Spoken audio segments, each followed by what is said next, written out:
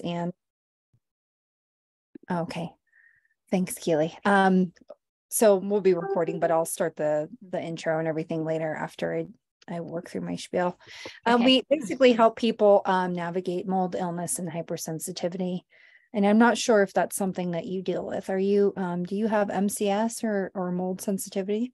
I do not actually. Um, i came to this topic because i actually read about sustainable fashion and um, yeah, and I heard about um, airline attendants who were getting sick, and so I decided to investigate, and that's how I got here. But I think that um, I think that um, actually my the fact that I'm not suffering from this personally is actually might be a strength of the book because I mean, as you all know, people tend to gaslight people who are suffering from things themselves.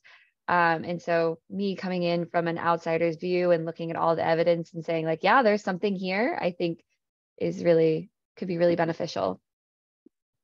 Very interesting. Okay, Alden, I'm going to just uh, introduce ourselves, the okay. podcast, introduce you, and then we'll get going. Okay. Okay, great. Hello, everyone. I'm Alicia Swami. I'm here with my co host, Eric Johnson, Keely Severson. We are exposing mold. Today, we are here with Alden Wicker. She's an independent journalist specializing in sustainability.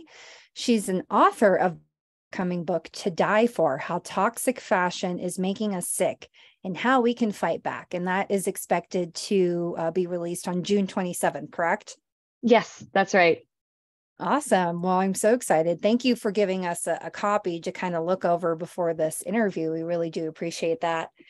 Um, one thing you said in chapter one, I was like, wow, that really knocked me for a loop.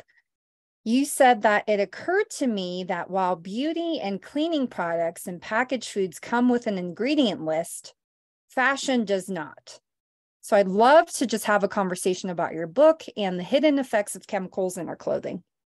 Yeah, absolutely. Well, I'm first of all, I'm really, really happy to be here. Um, you know, and uh, I think mold has a huge role to play in this, and I was sad that I couldn't cover it in the book, but um, I think that um, there's so many different things that are happening to our bodies. Um, one of the people I talked to called them environmental insults, and I thought an insult was such a good way to talk about it, and you know people who are who have allergies to certain things who have eczema who um, whose bodies react to exposure to um, certain odors or chemicals, um, VOCs, all those things, um, they're really left out to dry when it comes to fashion choices because you know you you can go to the beauty store um, mayo clinic actually has an app that allows you to look at different beauty products and personal care products and see which ones might set off your eczema and which ones might be okay.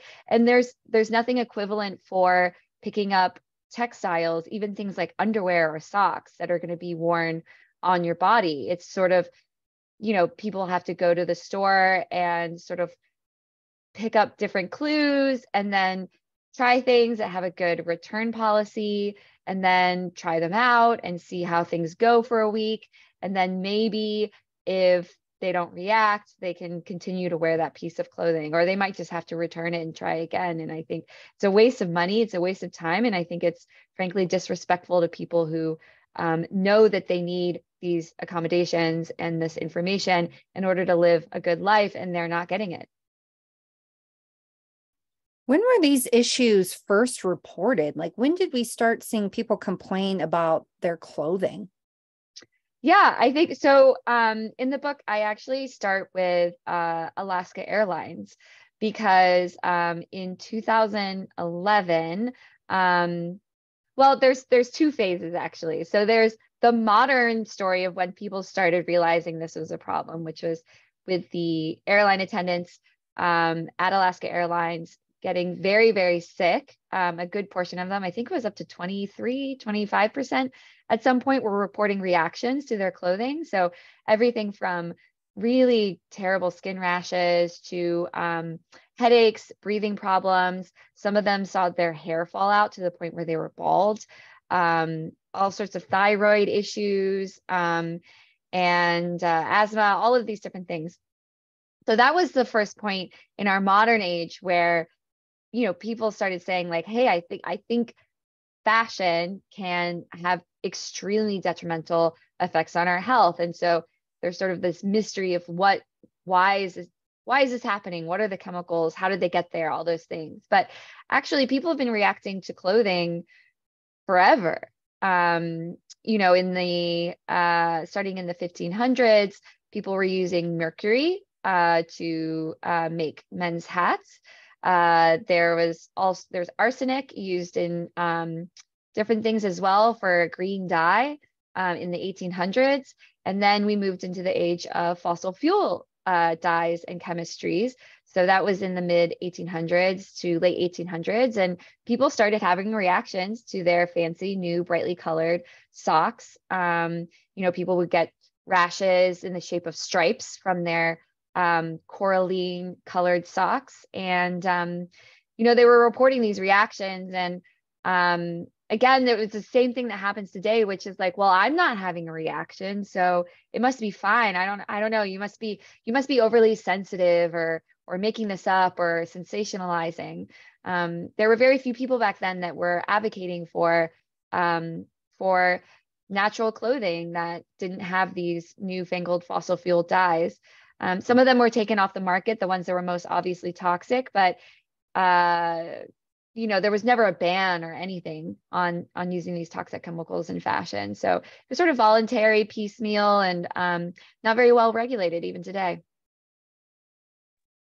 Yeah, it's interesting that you bring up how, I mean, we're always wearing clothing. I mean, you don't see people ever walking in anywhere naked or without mm-hmm. clothing. Like we're all we're always clothed 24 7 around the clock except for maybe 20 30 minutes when we take that shower you know once or twice yeah. a day. So it's like we're always exposed to these different types of of things in the clothing. Yeah and it makes it really really hard to pinpoint whether it's the clothing that is making you sick right? I mean you know of course some people have reactions right away like they smell something and they they're like oh this is this isn't going to work, right? Like I talked to several people in my book who said, you know, they pick something up in the store, they smell it and they go, mm not for me.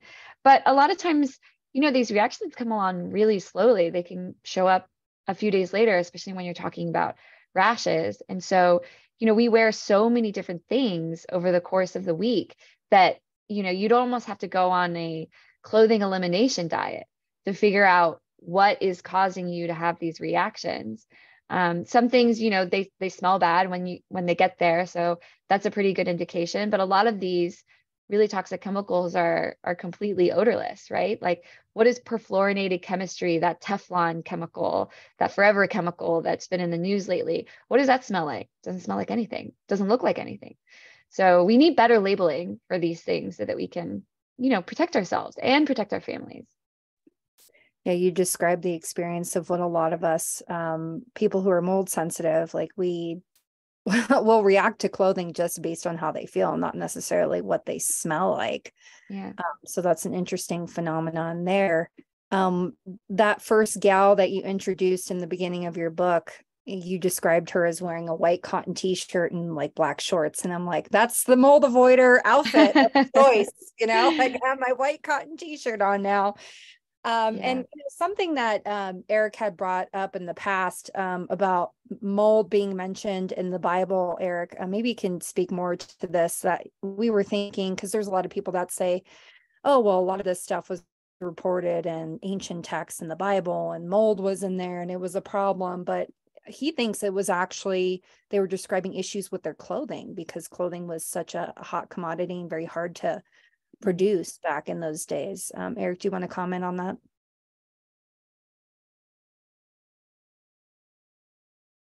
Well, when people uh, compare their modern mold illness to events of the past, they uh, suspect that the description in Leviticus of having to tear down a house because of red and green mold growing on the plaster being so problematic that the people who did the remediation had to burn their clothing, stay outside until sundown.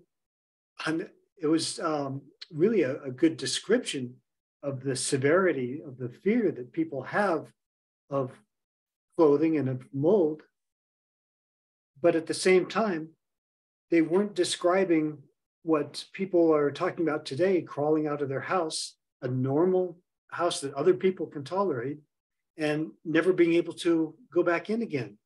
So even though there's similar things in the Bible, it's not exactly the same as what we're seeing right now. So there's something that kind of took off back in the 1980s that um, seems to go far beyond any previous historical descriptions. You know, it's interesting you say the 1980s because uh, completely separately, I've been working on an investigation for um, an outlet called Vermont Digger. It's an investigative um, online newspaper, and it's about polyurethane spray foam. So, polyurethane spray foam took off in the late 70s because of the oil energy crisis. And um, it's a plastic, it's a fossil fuel thing, um, product, and it's hydrophobic. And so, um, if you put it into your walls, it's like wrapping your house in a plastic bag. And in an old, older house that's not insulated well, um, the heat will come out through your walls and it will dry out any moisture that is coming out through your walls, right? Like moisture from cooking, from showering, um, maybe if you have a wet basement, all these different things. Once you wrap your house in this polyurethane spray foam, it's going to trap a lot of moisture. And that moisture is going to potentially accumulate and um, could cause a mold problem. And I actually interviewed a mold remediation expert um, in Vermont, and he said, "Yeah, this didn't this didn't happen 50 years ago, but you know, I've seen soffit vents, uh, you know, covered in spray foam so that the the attic can't, you know, get that humid air out."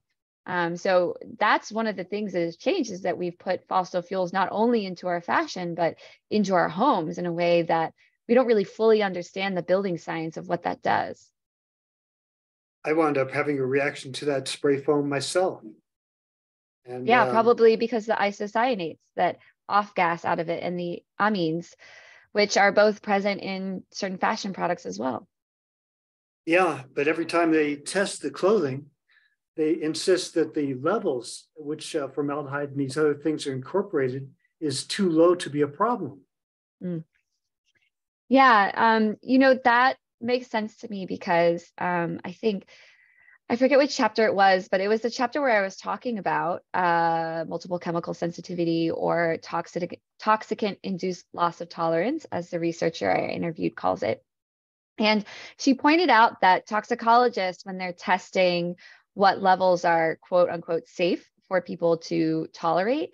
Um, usually, so either the testing is done over a long period of time at a factory where people are exposed to formaldehyde every single day at levels that are measured and recorded, and then it's seen whether or not they get cancer, right? Like what is what is the risk of cancer?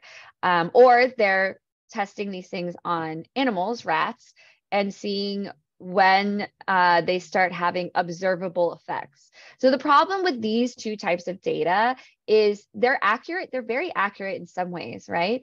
But in other ways, they don't tell the whole story. One says, okay, as long as you don't get leukemia, you're in the clear, it's okay. The other says um, observable effects, but a mouse isn't going to tell you whether they have brain fog or whether they're you know, whether they're a little bit confused or whether they just feel like kind of tired or um, all of these different things that are sort of more that manifest sort of psychologically that you would need words to articulate to somebody. So this these two ways of testing for the sort of safe dose of various things, um, you know, they they don't tell the whole picture. I mean, you know, we want to thrive, we don't want to survive, right? These exposures. And then the final thing is that, you know, yeah, once you're you go through an event where you're hyper exposed to a toxin, your body becomes sensitized to it and reacts to that. And I think that, you know, it's it's a shame that as a society we're not recognizing that because this is something that perhaps one in five people deal with in the United States, and we're not making accommodations for people so that they can really live their life and thrive, not just avoid cancer. That's a very low bar.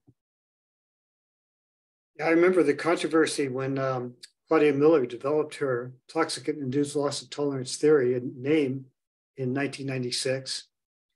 because she uh, primarily based this, her initial research was into a casino cluster.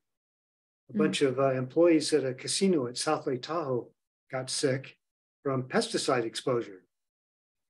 And the controversy was that the um, employees were getting sick, but the people applying the uh, insecticides, the cockroach sprays, they weren't sick.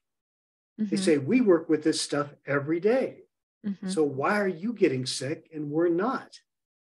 So the casino fought the employees as hard as they could. The employees were clearly sick, so they eventually were able to win the settlement. But the issue was never settled as to why the people with the highest exposure managed to evade getting tilt, whereas the casino employees uh, all acquired this in a group. Yeah, I mean, without, I haven't actually looked into that um, as much, but no. yeah, that's a really interesting incident. I mean, it it just it reminds me of how the um, the airlines and the uniform makers uh, told all of these airline attendants that you know, okay, fine, you're sick. Tell us the chemical that is causing all of your symptoms. And if you can identify the chemical that's doing this, then perhaps we can talk. Well, that's impossible to do. I mean, there's so many chemicals in the uniforms and then there's chemicals on the planes and all of these different things. And so it's a it's a way for them to avoid uh, being held accountable for this. Um, and a lot of the airlines, um, so the four different airlines, there was Alaska Airlines, American Airlines, Delta Airlines, and then Southwest is still ongoing. Um, so those three other airlines eventually swapped out their uniforms without admitting the uniforms were toxic. So they just sort of chalked it up to like, this is becoming a problem. It's a big distraction. Um, so we're going to go ahead and swap them out, but we still don't think that this is a problem. And they use that same language of, well, everything individually is under the levels that are considered safe. So uh, we don't think that there's any problem here. So I've been watching this same argument go on for many, many years since 1985, really, when it became a huge deal. And it was the same argument over and over again. The levels at which you're exposed to the chemical that you're implicating is insufficient to cause any known illness. Yeah, I mean, on average, statistically, we all know that our bodies are very, very different. We have different histories, we come from different areas, we have different genetics. Um, I think, you know, that sort of, well, statistically, according to our testing on lab rats, this shouldn't happen. I mean, use your eyes, you know? I mean, I, I think we need to move beyond this sort of like statistical average population level assessment and take people who as they are and who they are on an individual level and provide them the care that they need. You know, I'd, I'd like to throw in a little plug for Dr. Gary Holmes, the CDC epidemiologist who authored the 1988 chronic fatigue syndrome definition, because people curse him for writing a, a vague syndrome, creating all this confusion, giving it a stupid name, which really wasn't his idea. But actually, Dr. Holmes was not a bad guy. And he said, let's single out these people, pick a dozen people who have this problem and study the crap out of it. I mean, just follow these people, everything they do, everything that you know about where they've been, what they've done until we can figure it out. Yeah. And it was a, actually a good idea. And I think if you did that to any cluster, like with these uniforms, if you stuck with these people, quit jumping from one chemical, one person to the next, and just hone in on what that person did, you might get an insight that would lead to things that would explain other cases of similar illness. Mm-hmm. Mm-hmm. Yeah, absolutely. I mean, it is it is too bad. I mean, we do have the Harvard study that you know looked at uh, Alaska airline attendants before and after the introduction of uniforms, and overall did see a rise in a number of different health symptoms but it didn't do a follow up. And, you know, I hear from these attendants and they say, oh, they've discovered, uh, you know, I have skin cancer. oh, now I have this autoimmune disease. And so I wish there was a long term follow up for a lot of these airline attendants because, you know, that was just like a point in time. And, and we're seeing a lot longer term manifestations of that of that poisoning. What's really interesting is your mention of uh, Rachel Carson um, in her book Silent Spring. And so are you saying basically from her book that that like ignited sort of this environmental awareness because of the extinction of the bald bald eagles? Yeah, it did. Um it really uh it really it hit hard i think you know i've been reading her biography actually recently just to seat myself in sort of the context of the time and um and a lot of scientists were aware that ddt was a problem but they needed someone like rachel carson to bring it all together and show like this is what the world is going to look like if we don't stop doing this um, and that's where the title silent spring came from right like no more birds um, not even just bald eagles, but small birds and caterpillars and all of these, these thriving ecosystems, um, fish, all of these different things. So, um, and it wasn't just about DDT either. It was just it was sort of about this indiscriminate use of chemicals in every application without thinking about the knock-on effects or testing to make sure they're safe. And we've come so far since then, right? We have the EPA. The EPA makes different factories, say how much, you know, emissions of different chemicals are coming out of their stacks. Um, they're checking the water. Um, but we made this huge leap forward, uh, arguably because of Rachel Carson's book, Silent Spring. And then we just stalled out. So we have the Superfund um, program that took a lot of money, which is why it's called the Superfund, and like used it to clean up all of these toxic sites. But that work has slowed down and we're in dire need of an update um, for all of these different things um, to to tackle the problems that we have today. Can well, there's so many things going wrong that uh, the investigators say you can't focus on any one thing. It's just too much. It's like a toxic soup. You're getting hit with anything and everything. And while that seems reasonable and logical, because we certainly are bombarded by uh, innumerable uh, toxic substances. At the same time, if you approach it from the point of view that it must be toxic soup, that stands in the way of isolating any one particular thing for follow up. Yeah, yeah. And I think it can feel completely overwhelming and disenfranchising to think of it in that way. Um, you know, I do I wish I'd been able to include a broader swath of society in the book reporting. But as I say in the book, I had to focus on people who largely had control over their environment, right? So people who are not living near toxic waste sites, people who, um, you know, aren't near um, one of these industrial farms, you know, people who are able to clear out their environment and then finally get to the point where they're like, okay, the last thing that is left is fashion and i'm going to address this but you know as you say like it can come from so many different areas and you know i talk to a lot of people who they have multiple overlapping exposures to things that have made them sick and fashion is just one part of a bunch of different things that are in their environment that they have to manage now so you've got your carpets you've got your industrial you know like truck stops nearby like a lot of air pollution. Um, you know, a lot of one woman said her children um, started reacting cl- to clothing, and that led her to investigate what was going on. And she realized they had lead poisoning because they lived in an old farmhouse that they had renovated.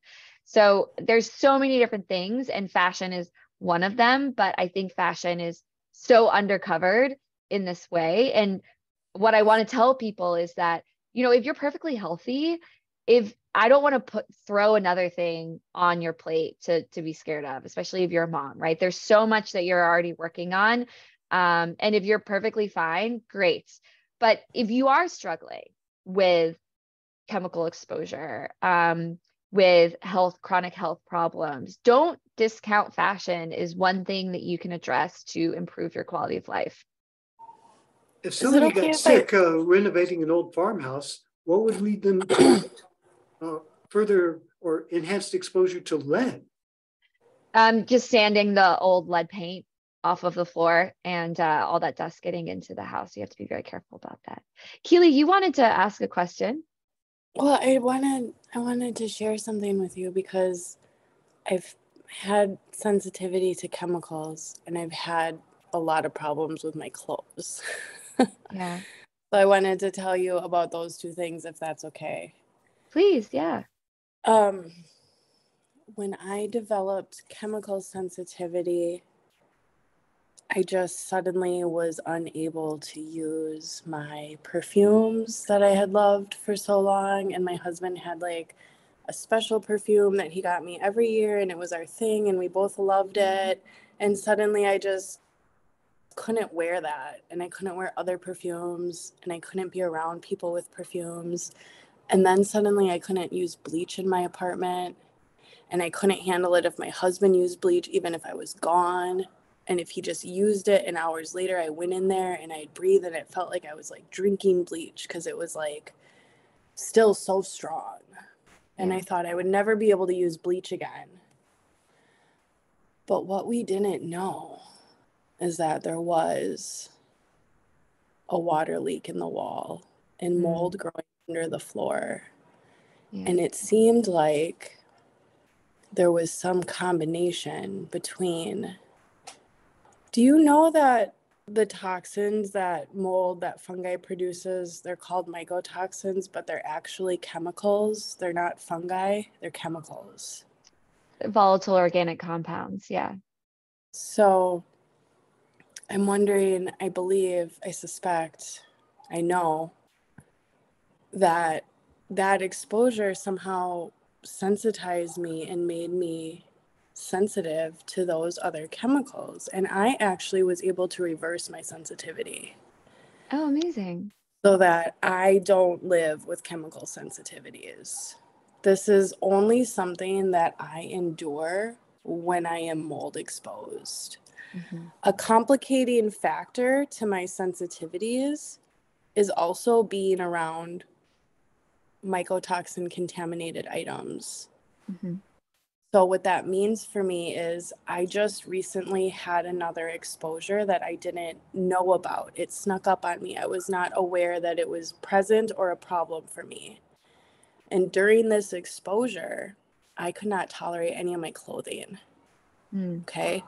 I would I'm I only wear these. I've been in white t-shirts for probably a year and a half or 2 years. I don't know exactly how long like Alicia stated it's the mold avoider outfit because once you get so sensitive to life that clothes start to bother you, it gets pretty yeah. tricky to navigate things. Yeah. Yeah. I would buy packages of like six and 10 white Hanes t shirts because they were essentially disposable. And so I would like filter through these packs. And the reasons that they were disposable was because I would open them in my home and pull one out. And the second that I would pull it out, I would check it. I have like a way that I check to see if stuff bothers me, and it would bother me right away. And I would say to myself, these are arriving contaminated out of the package. And I said that to everyone who would listen to me for probably six months. And yeah. that's not what was happening. What was happening was I had so much particulate pollution in my home from this exposure that the second I was opening this package, everything that was clinging to my house, clinging the environmental issues in my house were clinging to this t-shirt. And now yeah. that I was checking it, I'm reacting because of what has just absorbed in my house that I don't even know is here. And I'm pointing to the t shirt like it's the problem. I have been in disposable clothing since July 23rd, meaning like it gets thrown away indefinitely of mm-hmm. last summer. now that I have identified the exposure that was causing this problem and removed the bad window and upgraded the other windows in the house so that we're not currently in the same level of exposure, I can buy these packages of t shirts from these exact same stores and open up, and they're completely fine. Yeah. They're yeah. the same stores from the same locations the same clothes made out of the same stuff. The only difference is now that I'm not exposed, My clothing isn't bothering me. I don't have chemical sensitivities. And I just, when you hear something like allergic to clothing, for me, it's like, oh, that's a clue. That's a clue that there's something big environmentally going on. And I think that if it is mold, if it is mold, but we're saying like all chemicals are so dangerous, we're going to miss what mold is doing. And I think that it's possible to probably narrow it down to one chemical. Potentially. I mean, there's so much we we don't know. That's the thing is that you know when I first started reporting this book, I or actually I reported on an article a few years ago and I would contact experts in various things and they would say, "Ah, oh, you know, I don't really know anything about fashion." It was like fashion was this silly woman's issue and a serious scientist would never, you know, spend their time on something like that. Um, and so all of the research in the book is super new, and it comes from the fact that just in the past few years, people have started paying attention to fashion, but there's so much more research we need to do. So I just want to say that from the outset. There's so much we don't know. Um, I do think that there's a possibility that what you're saying is true, right? Like that when you have these volatile organic compounds from mold floating around your house, they can get on um, anything that's around and and and cause you problems.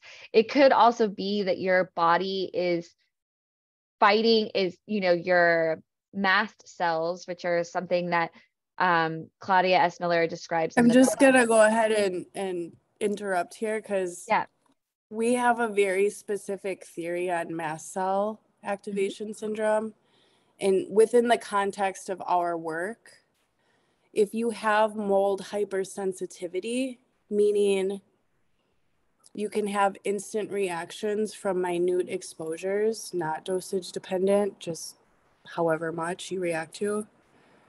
Um, that can cause mast cell activation syndrome as a sign and symptom of the hypersensitivity. So that's like our organization, that's our stance on yeah. mast cell activation syndrome. And that that lines up with the research that's in the book. Um, so Miller's most recent research said that uh, she has a theory that she thinks she's proved out around what mast cell activation, the biomechanism besi- behind mast cell activation syndrome, and how it also relates to what she calls toxicant induced loss of tolerance, which I mean, I'm going to grossly oversimplify it, but it lines up with what you're saying, right? Your the mast cells, which are protecting your body from outside toxins, have been hypersensitized to things to something and anything that looks like it as well. And i kind of describe it as if as if you're a soldier who's been in war and you now have post uh, traumatic stress syndrome right? So you have ptsd and um, nobody would blame a soldier back from the war for overreact overreacting to fireworks right? Like clearly they've been through it and something happens uh, happened to them. And hopefully they can get some sort of treatment that can lessen the severity of their symptoms um, but this is what Claudia we're saying. Miller actually recently reached out to our organization because she realizes that mycotoxins are a factor in tilt. Yeah, and she did. But did in terms of like PTSD, um, I think a lot of times that people are so sick from mycotoxin exposure that when they have a reaction, the reaction maybe is from a part of their brain that makes them exhibit it like it's a stress response, but I don't think it's actually a trauma response. I think that this is like an actual response that's just not well understood. Yeah, I mean it's it's let me be clear like this is an analogy that I'm using to explain to people like you know like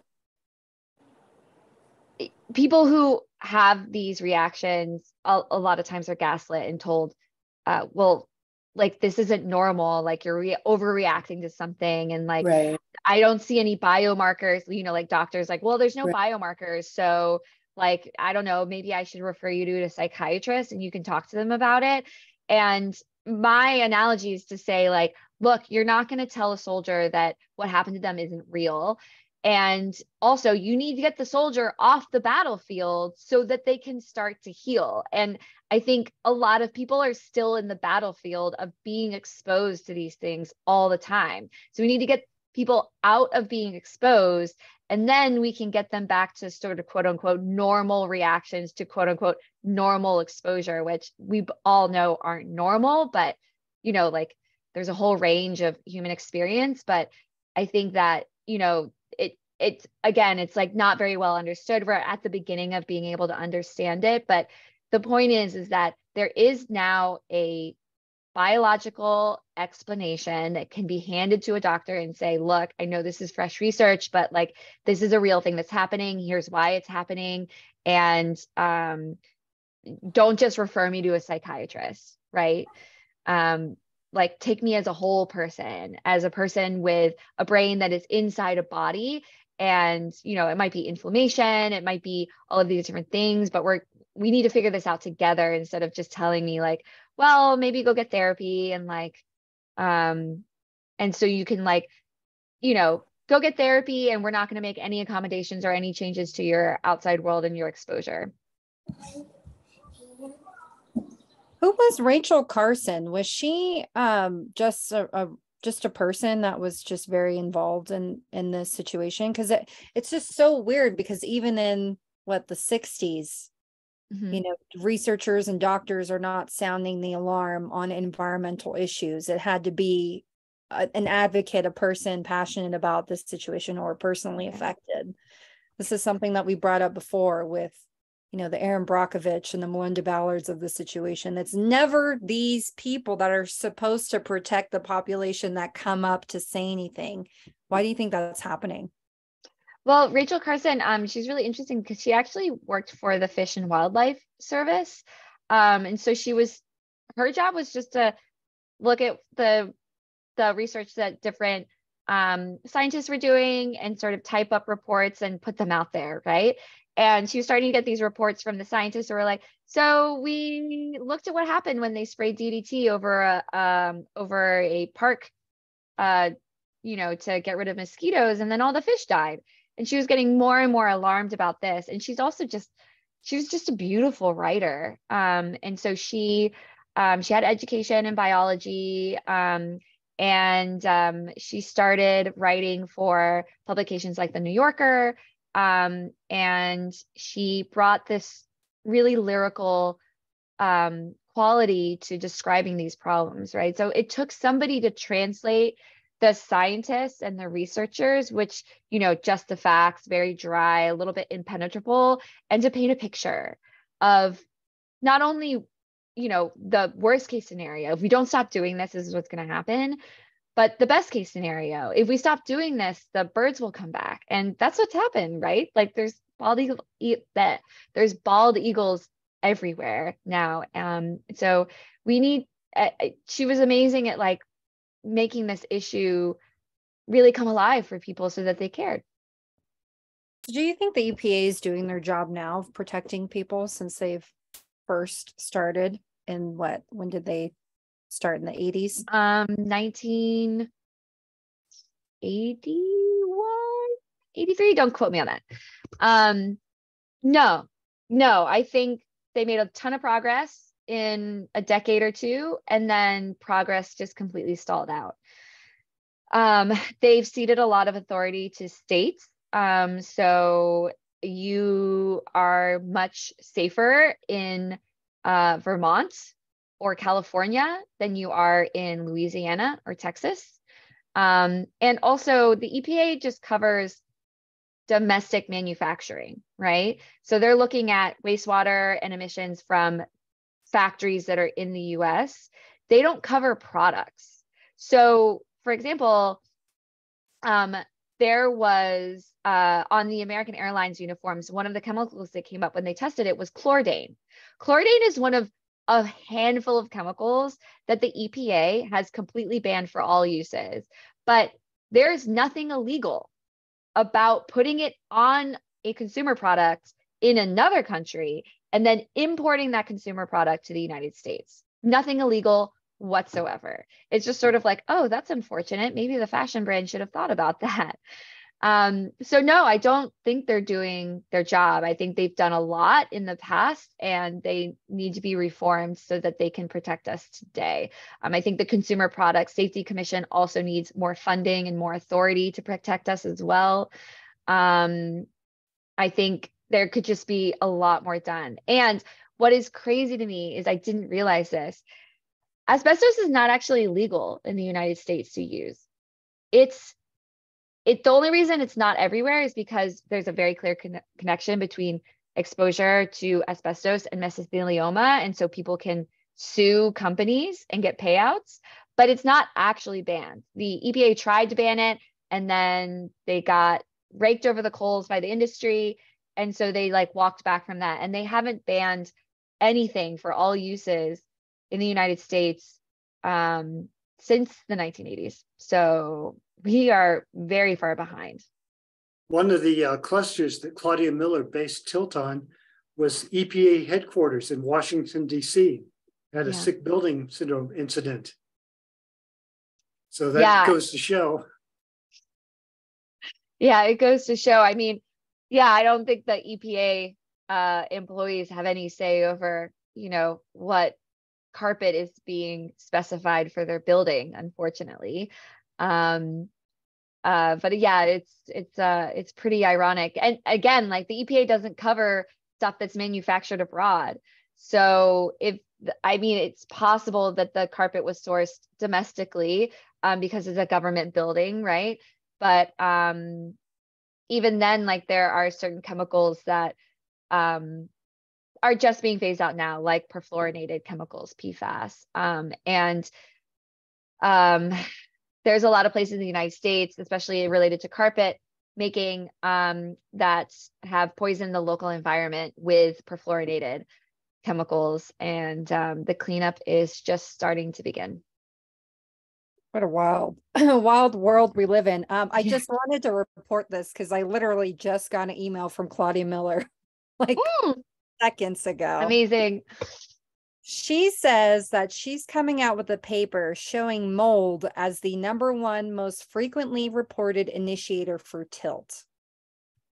Nice. This is coming yeah. out in her paper and it's under awesome. That must be very affirming for you. Yeah. You know, I, I was trying when I was I, I when I've been working on this article and I'll send it to you when it goes live. I think it'll go live in the next couple weeks um, about spray foam use in the United States.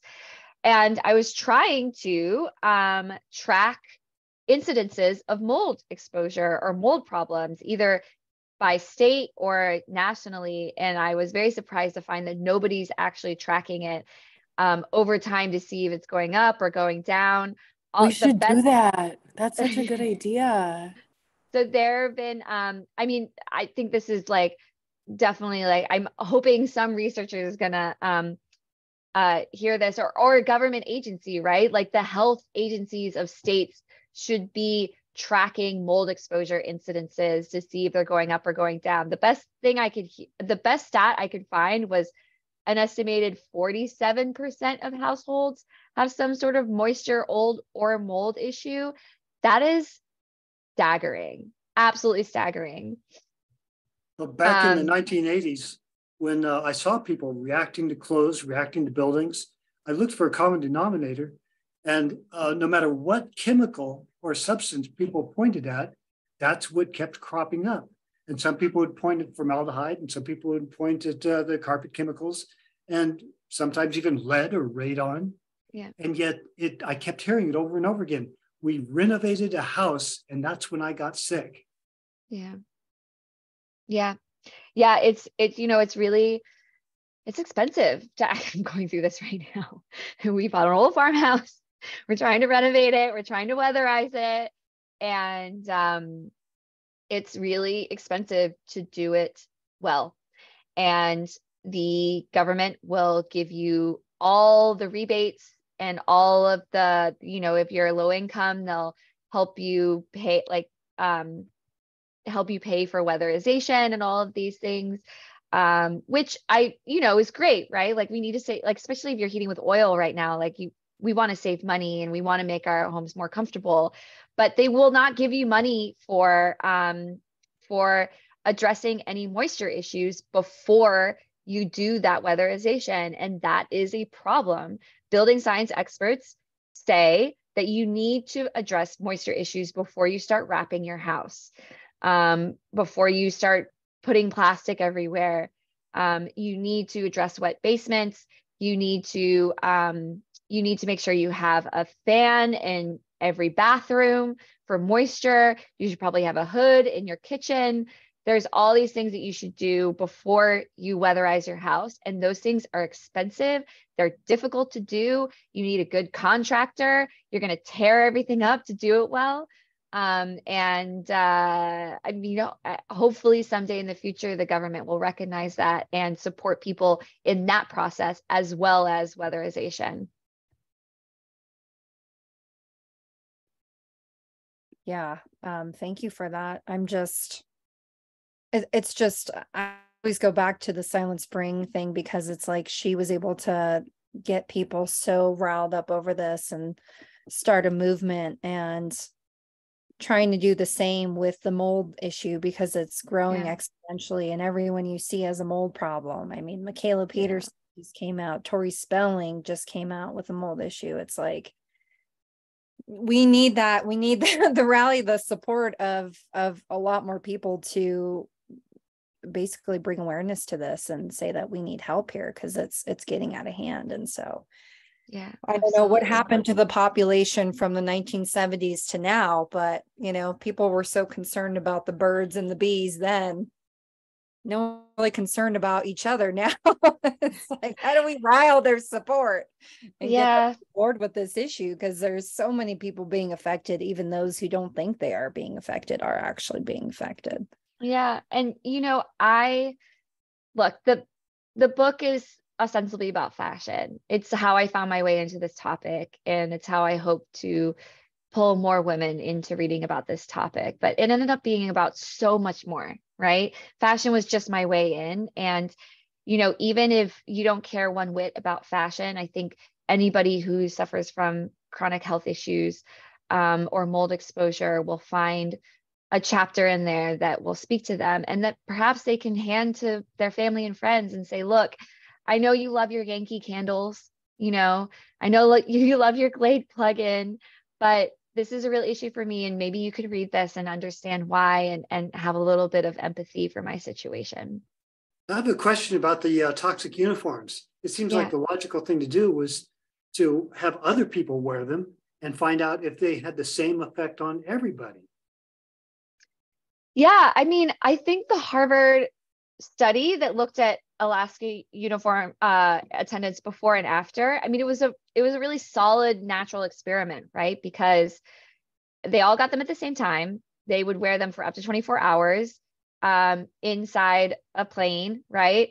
Um, they're all, you know, they're all wearing the same uniforms. Like there's just not a lot of different variables. Um, and you know, up to 25% of that population reported symptoms um, ended up reporting symptoms and that's probably not even everybody who reported symptoms. And you know not everybody is susceptible to this right? Like there's a genetic component um, or just like a, a personal history component right? Um, you know i i told you that i don't personally suffer suffer from chemical intolerance.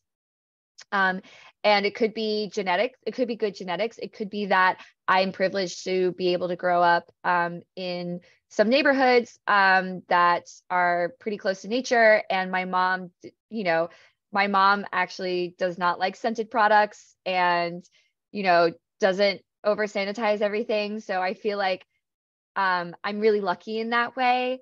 But, you know, I, I think it for the history of toxic fashion, people have been saying, oh, well, not everybody reacts to this. So it's just an individual sensitivity, or you're just too sensitive. You know, we saw that with the CEO of Carter's that, that made children's um, products and their their tags were causing really bad rashes and it was just like oh well like there's some babies who are a little bit too sensitive but by and large it's okay and so i want to make sure that we don't fall into this trap of saying well you know it's only a small portion of people who react small portion of people who react so it's not a big deal. No those people deserve care.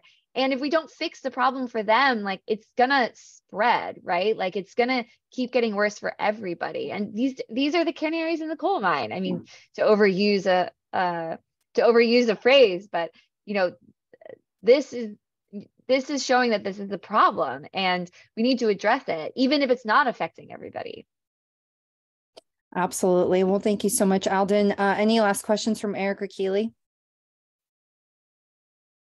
well, it was a pleasure having you on. Your book is awesome. Um, you know, I don't think anybody's really talking about this in the forefront right now. I think there was, you know, maybe a documentary in the past, but no one's really talking about the implications of fashion and how that could be causing issues for the population. So thank you for writing this book and going beyond that topic. As you said, you're really going beyond the topic of, you know, people becoming hypersensitive and it's not just these people, it could happen to you and absolutely out basically. So thank you so much. Thank you so much for having me. This has been such a great conversation. I'm uh, honored to be included in this conversation and um and yeah, good luck. Like keep fighting the good fight. I think you what I do hope is that this book does start a movement. Um, and so maybe you can help us get there. Absolutely. If anyone wanted to, um, depending on when we air this, pre-order or buy your book, where can they mm-hmm. do so? any place you buy books. Um, it's on Amazon, Thrift Books. Um, there's an audiobook that I recorded myself coming out as well. Um, uh, Barnes and Noble, Target. Um, and I will also say that I worked with the publisher um, to make sure that the book itself um, is amenable to people who have might have chemical intolerance. So it is a natural paper cover. It was completely manufactured and printed in the United States. So I can't guarantee it won't cause problems, but I was very specific in advocating for uh, a non synthetic uh, book that people can hold in their hands uh, with confidence. Awesome. Hopefully, the paper doesn't come from one of those bad paper mills. There's like fungus emergencies and paper mills worldwide that's ruining like napkins and paper products and all kinds of oh wow. That's crazy. Well yeah. So people could try it or of course there's the audiobook version or the kindle version. So um, lots of different choices for everybody feel free to just send me the link that you want in the show notes and we'll plug that in and okay, get people great. excited and buying your book thanks again my dear you have a wonderful day you too thank you so nice to meet everybody bye